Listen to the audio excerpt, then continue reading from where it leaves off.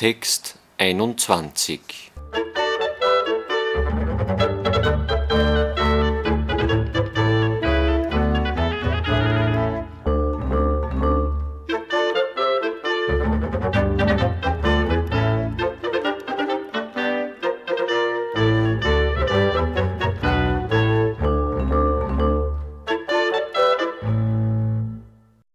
Antimilitarismus heute und der Krieg von morgen.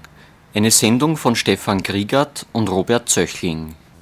Mit dem Kosovo-Krieg ist nicht nur die Militärstrategie der NATO im Allgemeinen in eine neue Phase eingetreten, sondern auch der deutsche Militarismus im Besonderen. Erstmals seit 1945 sind deutsche Soldaten an einem Kampfeinsatz beteiligt. Zum dritten Mal in diesem Jahrhundert führt Deutschland einen Angriffskrieg gegen Jugoslawien über den Stand der antimilitaristischen Sache in der BRD zehn Jahre nach der Wiedervereinigung und vor dem Hintergrund der Bombardierung Jugoslawiens, über aktuelle Entwicklungen innerhalb des Militärs sowie über Kriege der Zukunft, Menschenrechte und Rohstoffe sprachen wir mit Christian Herz. Christian Herz ist Totalverweigerer und Mitbegründer der Kampagne gegen Wehrpflicht, Zwangsdienste und Militär in Berlin Internationale Aufmerksamkeit erregte die Kampagne zuletzt durch die von ihr mitorganisierten Störaktionen beim öffentlichen Gelöbnis der Bundeswehr am 20. Juli, dem Gedenktag für die deutschnationalen Widerstandskämpfer gegen den Nationalsozialismus. Seit zehn Jahren ist die Kampagne eine der wichtigsten antimilitaristischen Organisationen in Berlin, wo bis zur deutschen Wiedervereinigung aufgrund des alliierten Besatzungsstatus keine Wehrpflicht herrschte die Kampagne hoffte, die damalige Umbruchssituation für eine weitgehende Entmilitarisierung Berlins und im weiteren Deutschlands nutzen zu können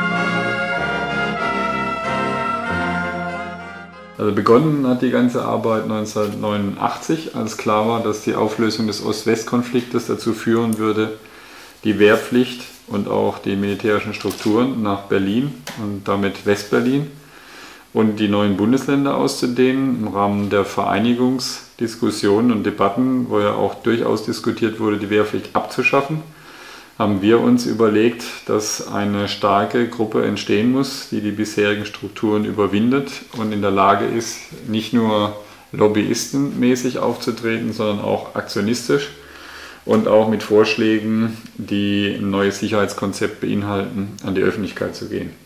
Wir haben deswegen ein breites Bündnis gegründet, sind dann allerdings in der politischen Entwicklung etwas überrascht worden von der schnellen Aufgabe Russlands gegenüber der Abschaffungsforderung bzw. der Nichtausdehnungsforderung. Es gab ja damals die Debatten um die Wirtschaftsbeihilfe für Russland. Und nachdem klar war, dass für die Wirtschaftsbeihilfe die harte Forderung NATO-Ausdehnung auf keinen Fall, Wehrpflichtausdehnung ebenfalls nicht, nachdem das fallen gelassen wurde, war klar, man wird es also auf eine langfristige Auseinandersetzung ankommen lassen müssen. Und die Chance, die Wehrpflicht schnell abzuschaffen, bestand zwei Jahre nach der Wiedervereinigung und danach war es im Grunde genommen äh, so angelegt, dass es einen langfristigen Kampf geben musste um die Abschaffung. Und wir haben deswegen gesagt, wir müssen versuchen, ein möglichst breites Bündnis hinzubekommen, was uns im Nachhinein nicht ganz gelungen ist, weil sich manche gesellschaftliche Kreise, wie zum Beispiel die Kirchen, von einem offensiven Antimilitarismus nicht angezogen fühlen. Die Einschätzung, dass die Wiedervereinigung eine reale Chance zur Abschaffung der Wehrpflicht eröffnet habe, wurde bereits damals von vielen in Zweifel gezogen. Christian Herz hält aber dennoch an seiner Einschätzung fest. Das lässt sich auch gut nachweisen. Es gab zum Beispiel den Genscher Plan, der in den Verhandlungen eine sehr erhebliche Rolle gespielt hat. Äh, es war klar, dass die Sowjetunion auf keinen Fall einer normalen Vereinigung mit militärischer Ausdehnung zustimmen würde. Und wenn sowas wie eine Wiedervereinigung von einem ehemaligen Kriegsgegner ansteht, politisch, dann wird natürlich auch diskutiert, zumal es alles noch Kriegsteilnehmer waren, die da verhandelt haben.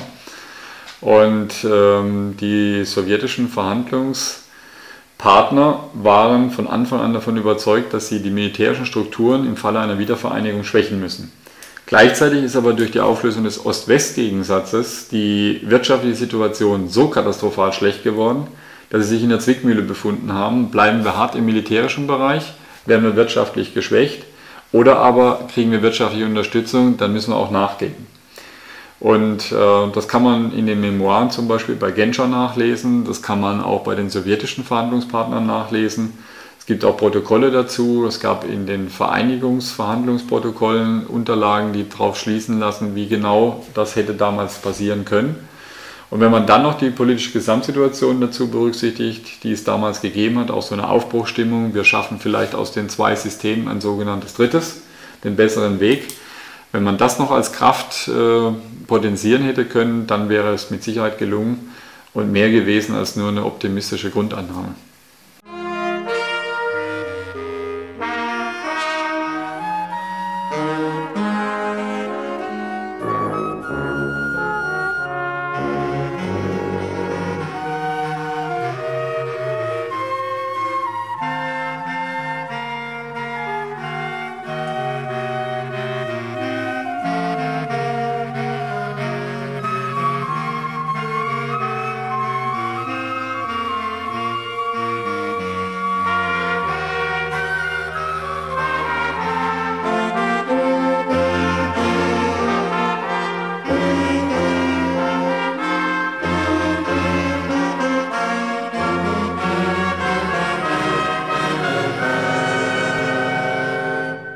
Und jetzt haben wir uns so darauf eingestellt, auf eine lange Auseinandersetzung mit dem Ziel, dass wir nicht nur auf die Moral bauen, weil da werden wir über einen bestimmten Prozentsatz in der Bevölkerung nie hinauskommen, aber ähm, im wirtschaftlichen Bereich schon.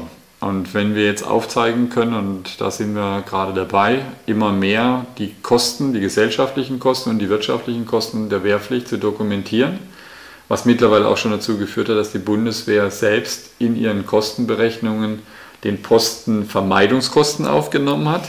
Und unter Vermeidungskosten ist all das zu verstehen, was die Wehrpflichtigen an Energie aufbringen, auch finanzielle Energie, um sich der Wehrpflicht zu entziehen. Und da ist es ja mittlerweile gelungen, dass die Opportunisten das entscheidende Potenzial bilden. Denn es gibt mittlerweile nur noch ein Drittel mit fallender Tendenz, das selber zur Armee geht. Wenn es uns gelingt, die Opportunisten zu uns rüberzuziehen, aufgrund von ihren wirtschaftlichen Überlegungen beispielsweise nicht zu dienen, dann ist die Bundeswehr nicht mehr in der Lage, bei fallenden Geburtenzahlen ihren Bedarf zu decken. Und dann haben wir auch was erreicht, was wir erreichen wollen. Und zwar in einem größeren Maße als jetzt, denn schon jetzt ist es nicht mehr möglich, intelligente Soldaten in ausreichendem Maße zu finden. Es gab ja auch ähm, teilweise Jahrgänge, die bis zu 50 Prozent ähm, sich auch gewehrt haben und auch äh, intensiv gewehrt haben. Aber es ist nicht gelungen, die extrem gestiegene Anzahl der Kriegsdienstverweigerer politisch zu kanalisieren und zu einer machtvollen Organisation umzubauen. Das ist nicht gelungen. Mhm. Und ähm, das hängt aber auch damit zusammen, dass die Kohl-Regierung es geschafft hat, den Jugendlichen einzuimpfen, schnell Karriere machen, schnell studieren und mit diesem Problem sind wir konfrontiert gewesen. Das ist also ganz eindeutig. Die gesellschaftliche Entwicklung geht in Richtung äh, immer mehr Eigenverwirklichung und weniger sich für gesellschaftliche Ziele, Grundsatzziele auch äh, einzusetzen. Mit der Folge, dass dann diese Leute auch sehr schwer zu binden sind. Also man kann das auch an Beispiel sehr deutlich machen. Die Kriegsdienstverweigerungszahlen haben sich im Laufe der Kohl-Regierung verdreifacht. Aber die aktiven Anzahl gesamt hat sich um Faktor 10 minimiert. Und wenn man sich das anschaut, das ist natürlich eine bedrohliche Entwicklung. Es gibt sehr, sehr viele Leute, die nicht hinwollen. Es gibt auch sehr viele Überzeugte, die auf keinen Fall Militärdienst machen würden, die aber nicht bereit sind, sich aktiv gegen die gesellschaftliche Grundströmung, die bei vielen Älteren vor allen Dingen vorhanden ist, das Militär offensiv zu stützen, wenden würde. Und das ist uns nicht gelungen. Und äh, ich sehe auch nicht, dass es in der nächsten Zeit passieren wird. Mhm. Die Jugendlichen heute interessieren sich eher für einen Aktienwert als für antimilitaristische Aktionen.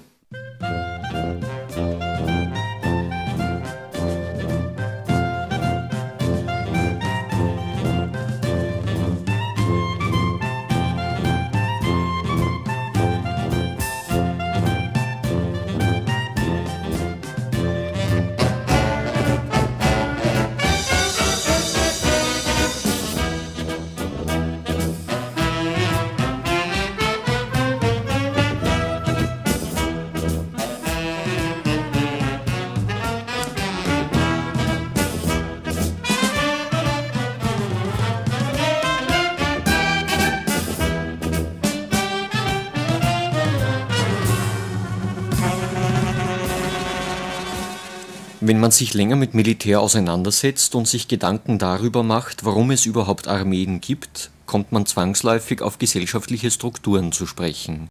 Also es ist völlig klar, dass äh, das kapitalistische System dazu führt, dass beispielsweise der Export von Waffen zwingend dazugehört, sonst funktioniert das System nicht. Und wer sich gegen Militarismus wehrt, muss natürlich auch eine Kapitalismuskritik betreiben. Wir sind allerdings aufgrund unserer Orientierung nicht in der Lage, ähm, gesamtgesellschaftliche Grundsatzkritik hier auch noch mitzumachen. Wir, wir haben das zwar sicherlich als geistiges Rüstzeug dabei und ähm, organisieren auch Veranstaltungen in der Richtung, aber wir können jetzt nicht auch den Bereich noch voll abdecken. Es gibt noch viele andere Bereiche, wenn man sich zum Beispiel den Umweltschutz anschaut. Umweltschutz und Antimilitarismus gehören ganz eng zueinander. Und auch da gibt es eigentlich nicht genügend äh, Verzahnung zwischen den arbeitenden Gruppen. Kritik am Militär und Kritik am Kapital kann auch an einfachen Sachverhalten ansetzen. Unternehmen verkaufen nicht nur Waffensysteme, sondern auch die dazugehörigen Armeekonzepte. Innerhalb der Militärs und äh, interessanterweise auch innerhalb der Rüstungsindustrie gibt es spannende Kämpfe. Ähm, beispielsweise eine Fabrik wie Heckler und Koch, die Maschinengewehre herstellt, hat natürlich ein vehementes Interesse an einer großen Armee. Das heißt, die braucht eine Wehrpflichtarmee. Die setzt auch alle ihre Lobbyisten in Bonn und anderswo und jetzt auch in Berlin dazu ein, genau diese Wehrpflichtarmee zu erhalten. Eurofighter-Hersteller hingegen, die wollen natürlich was ganz anderes. Die wollen die Hightech-Armee, die wollen eine kleine Armee, denn jeder Mann, der weniger in der Kaserne steht, ist schon wieder ein Rad oder irgendein Teil des Fliegers mehr. Und äh, bei den Politikern ist es ähnlich. Und es kommt noch hinzu, dass ähm, auch sehr viele Militärs den Eindruck haben, sie könnten ihre Konzepte ein bisschen leichter durchsetzen, wenn die Wehrpflichtigen nicht als Behinderung da wären. Das ist auch das klassische Argument gegen die Abschaffung der Wehrpflicht, ist aber falsch, weil nämlich die Berufsarmee bei uns ohnehin existiert. Und wir haben eine extreme Spaltung, das ist auch im Rahmen der Wiedervereinigung gelaufen. Es gibt im Grunde zwei Klassen von Soldaten, die sogenannten Heimatverteidiger und die Krisenreaktionskräfte. Und die Heimatverteidiger werden klassisch ausgebildet zur Heimatverteidigung, sind im Grunde auch Soldaten zweiter Klasse, bekommen nicht mehr so eine harte Ausbildung, haben schlechteres Waffenmaterial und ähnliches mehr. Während die anderen kommen zum Volleinsatz. Denen wird auch beigebracht, das Leben ist durchaus in Gefahr, wenn ihr zum Einsatz kommt. Der Tod wird durchgesprochen, also es gibt auch völlig neue Konzepte innerhalb der Armee. Und äh, man setzt sich mit dem Tod auch intensiv auseinander, schafft Betreuungskonzepte, psychologische Unterstützung, ähnliches mehr. Äh, es gibt Familienbetreuungszentren, psychologische Schulung, äh, dann auch die Verbindung mit der Kirche. Der pastorale Einsatz an der Front wird alles wieder schon entsprechend geübt. Und ähm, genauso ist es ähm, bezüglich der Einsatzkonzepte. Die werden voll umgestellt.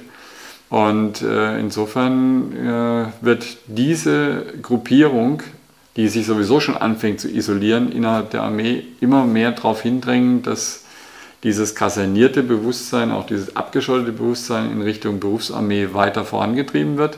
Während die anderen natürlich sagen, klassisch, wir brauchen auch die Verbindung zur Bevölkerung. Und die Wehrpflicht ist ja immer noch das Instrument, um zu rechtfertigen, dass es Armee auch gibt als Beschützer des Volkes und ähnliches mehr. Und dieses ganze Demokratiegequatsche außenrum, was sowieso überhaupt nirgendwo eine geschichtliche, relevante Bestätigung finden würde, zeigt, wenn man sich das äh, von der Analyse her genauer betrachtet, dass die Berufsarmee wahrscheinlich kommen wird, in einer Form, ähm, die durchaus aber noch Wehrpflichtige mit beinhalten kann. Und wenn man die Abschaffung der Wehrpflicht fordert, dann muss man auch überlegen, welche Zusatzkonzepte gehören mit dazu. Und wir fordern ja nicht nur die Abschaffung der Wehrpflicht, sondern wir sagen, man muss also immer gleich mit berücksichtigen, dass die Armee insgesamt auch geschwächt werden muss. Und man muss den verbleibenden Anteil stärker kontrollieren als bisher. Die Kontrolle der Armee versucht die Kampagne mit ihren Mitteln schon heute partiell zu gewährleisten. Wir beobachten die Aktivitäten in den Kasernen, insbesondere bei den Krisenreaktionskräften, da ganz besonders die rechtsradikalen Strömungen. Wir werten die militärischen Schriften aus, um zu sehen, was die Militärs vorhaben. und äh, mischen uns so gut wir das können in die Debatte um gerade diese Kriseninterventionskrafteinsätze beziehungsweise dann die Erweiterung, die ständige Erweiterung des Einsatzrahmens der Bundeswehr. Und die Entwicklung, die geht rasant vor sich, ohne dass äh, große Teile der Bevölkerung mitbekommen, welchen Wertewandel mittlerweile die Militärs erreicht haben und welchen sie noch vorhaben. Denn äh, wir sind noch lange nicht in der Endphase der deutschen Einsatzbereitschaft von Militär und da wird noch in den nächsten Jahren einiges an Veränderungen kommen, was wir mit großer Sorge beobachten, wo wir aber glauben, dass also die gesellschaftlichen Kräfte nicht ausreichen werden, um massiv schnell Veränderungen herbeizuführen.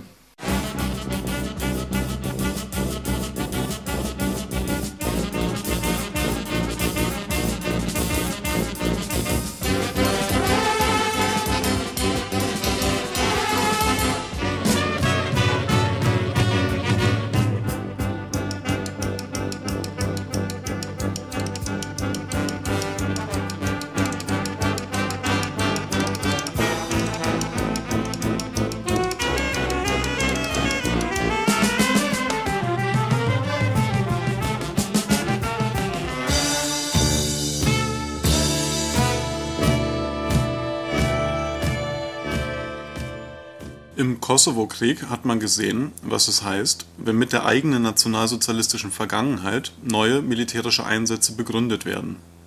Ein militärischer Einsatz deutscher Soldaten stellt immer auch eine spezifische, nämlich schlechte, Form der Auseinandersetzung mit der deutschen Verfolgungs und Vernichtungspraxis dar. Darin unterscheidet sich dieses Land von allen anderen kriegführenden NATO-Staaten also es ist natürlich besonders hinterhältig, wenn, wie von der Bundeswehr jetzt initiiert, ähm, am 20. Juli ähm, so ein Gelöbnis gelegt wird oder wenn man gerade die Interventionseinsätze mit dem Kampf für Menschenrechte gleichsetzt. Das sehen wir auch. Ähm, und da muss man auch massiv gegenhalten. Problem ist nur, dass in der Öffentlichkeit das oft auch verdrängt wird. Und gerade im Land von Auschwitz, im Land von Militarismus in fast höchster Perfektion, ist es absolut notwendig, sich über die Wurzeln ständig im Klaren zu sein. Die Bundeswehr ist nicht mehr diese Armee, ganz klar. Aber es gibt natürlich immer noch Traditionslinien innerhalb dieser Armee, die sich bewusst und auch offen zu den alten Strukturen bekennen. Die Gleichsetzung, die auch Fischer immer wieder betrieben hat, die also geschichtsverfälschend auch ist, dass man jetzt Einsätze machen muss ähm, im gleichen Namen und mit der gleichen äh, Intention wie damals gegen das Dritte Reich. Das ist einfach ähm, Geschichtsverfälschung und politischer Opportunismus in potenzierter Form. Die Menschenrechte sind der jugoslawischen Bevölkerung wochenlang in Form von Bomben auf den Kopf gefallen. Von ihrem guten Ruf haben sie scheinbar trotzdem nichts verloren. Also ich bin sehr wohl der Meinung, dass Menschenrechte verteidigt werden müssen, aber nicht mit Waffengewalt, weil gerade die Waffengewaltanwendung dazu führt, dass Menschenrechte unterdrückt werden. Und wenn man den ganzen Kreislauf, der damit zusammenhängt, nicht durchschaut, dann kann man dieses Menschenrechtsproblem nicht lösen. Faire Handelsbedingungen fördern viel mehr die Menschenrechte als irgendein Waffeneinsatz an irgendeiner Stelle, der medial hochgepusht wurde. Es gibt zig Konflikte oder die Bundesregierung entscheiden müsste, militärisch vorzugehen, wenn sie es wirklich ernst meinen würde. Und wenn es sozusagen den Weltpolizisten schlechthin gäbe, hätte der mindestens einen Viertel bis ein Drittel, wenn nicht sogar der Hälfte aller Staaten, regulativ einzugreifen. Und das wird aber nicht getan aus verschiedenen Erwägungen, zum Teil auch, weil man zum Beispiel in China nicht einmarschieren kann angesichts der Atombombe. Aber ähm, es wird als Mittel immer wieder verkauft und es lässt sich mittlerweile sehr gut, und da hat es eine entscheidende Wende seit dem Golfkrieg gegeben. Der Golfkrieg war der bestinszenierte Medienkrieg, den es je gegeben hat. Und seitdem ist es ihnen gelungen, durch Poolbildung auch die Medienlandschaft so zu, äh, so zu beeinflussen, dass es wunderbar gelingt, auch Mehrheiten innerhalb einer Bevölkerung zu brechen. Und das ist eine neue Entwicklung. Denn ähm, wenn es gelingt, die Bevölkerung mit einer Mehrheitsposition gegen einen Krieg umzustimmen durch Medieneinsatz, dann bedeutet das auch, dass diese Bevölkerung auch zu anderen Mitteln missbraucht werden kann. Und das ist die Entwicklung, von der ich besonders viel Angst habe. Wenn du dir anschaust, Was sich hier verändert hat, ja, Deutschland beteiligt sich an Kriegen. Deutschland macht Interventionseinsätze. Deutschland schreibt offiziell seit 92 über den Generalinspekteur in Papiere rein, die jeder öffentlich bekommen kann. Zu den vitalen Interessen Deutschlands gehört die Rohstoffabsicherung. Und das geht hier durch. Und da musst du dich fragen, wie kann es möglich sein, dass ein Land, was 45 Jahre ganz klar erklärt hat, kein Militäreinsatz mehr. Das war Außenamtslinie. Außenministerium hat immer gesagt, wir machen das nicht. Und dann auf einmal wird es hier so rasant geändert. Da muss man sich dann schon fragen, was ist hier mit dem Antimilitarismus los?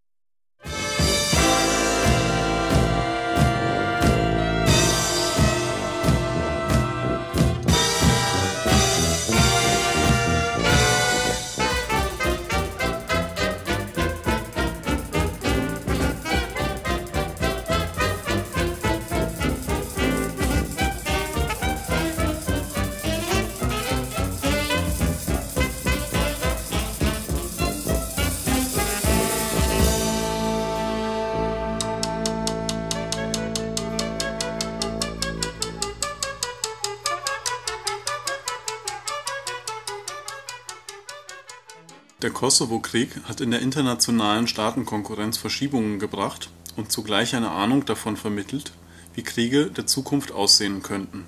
Ich gehe eh davon aus, dass wir unter der Vorherrschaft von Amerikanern, Franzosen und den Deutschen eine ganz andere Weltordnung in den nächsten Jahren installiert bekommen. Es wird so sein, dass ähm, solche Einsätze viel äh, stärkere Form annehmen werden. Und es wird auch mittlerweile in jeder Armee eine Umstrukturierung vorgenommen im Hinblick auf Ressourcenabsicherung. Und das ist im Grunde, äh, wenn man das betrachtet, äh, gegenüber dem Kolonialismus keine Veränderung. Man sagt, man will Rohstoffe, also holt man sich die Rohstoffe. Wenn man sie nicht freiwillig bekommt oder über schlechte Handelsbedingungen erreichen kann, dann holt man sich mit Gewalt. Und das wird der Krieg der Zukunft sein. Und ähm, insofern kommt es schon darauf an, dass man diese Strukturen aufgreift und auch bekämpft. Wobei ähm, es den Militärs gelungen ist, innerhalb der Bevölkerung, auch gerade in linken Kreisen, eine gewisse Zustimmung für ihr Einsatzverhalten, wenn es medial entsprechend aufgearbeitet wird, zu bekommen. Und solche Einsätze dienen natürlich dazu, die Opposition zu trennen, zu spalten und ähm, auch zu schwächen. Und wenn man sich die Funktion der Grünen anschaut, ist das äh, das Paradebeispiel schlechthin. Früher geschlossen gegen Militär, heute mehrheitlich, insbesondere regierungsmehrheitlich, für Militäreinsätze unter bestimmten Voraussetzungen. Und jetzt werden sie plötzlich, obwohl keine Ahnung vom Militär, zu glühenden Verfechtern von Militäreinsätzen und äh, machen sich Gedanken über das Image der Bundeswehr und sprechen kaum noch mit ihren ehemaligen Bündnispartnern von früher. Und das ist eine bedrohliche Entwicklung, die die Sache sehr gefährlich macht, weil sie perfide vorbereitet wird. Und das ist eine Veränderung gegenüber früher. Man geht nicht mehr mit plumpen Militarismus vor, sondern bringt den modernen Militarismus über Menschenrechtskomponenten und ähnliches an den Mann und an die Frau.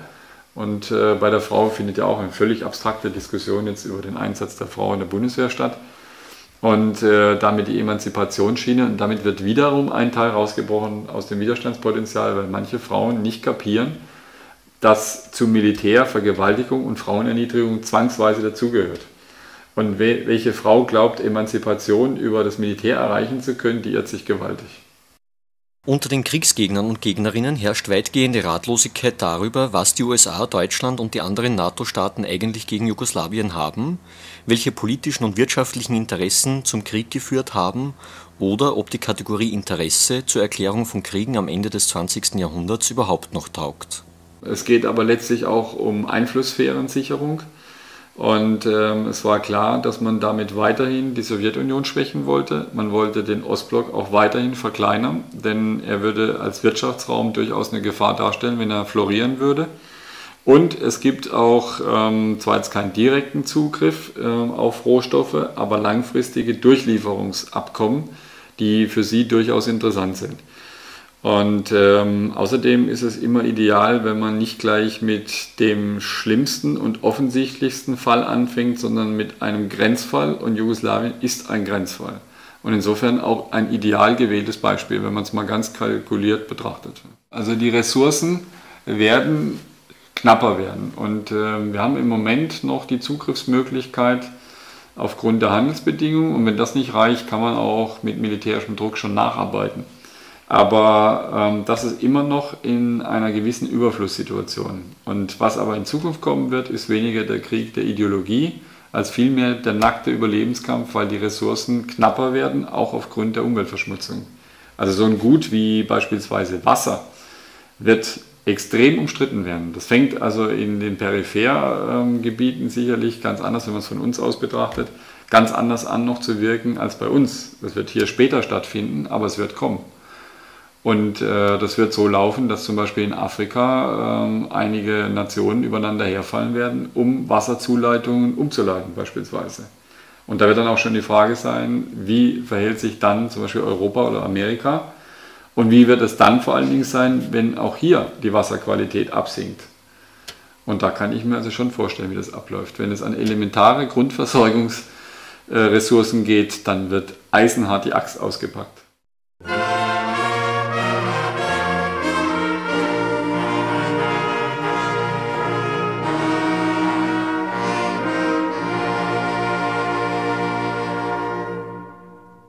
Mit Christian Herz sprachen Stefan Griegert und Robert Zöchling.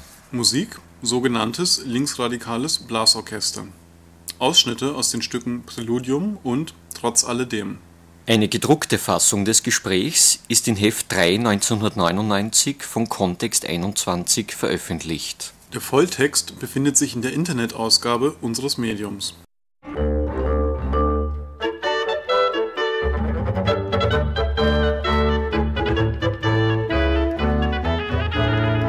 Ein Probeabo der Zeitschrift Kontext 21, die nächsten drei Ausgaben kostenlos, unverbindlich und ohne automatische Verlängerung, kann an folgender Adresse bestellt werden: Kontext 21, Schottengasse 3a-1-4-59 A 1010 Wien. Die Internetausgabe von Kontext 21 befindet sich an der Adresse http kontext21.mediaweb.at. Es ist jeweils die lateinische Schreibweise zu beachten, also Kontext mit C und 21 als XXI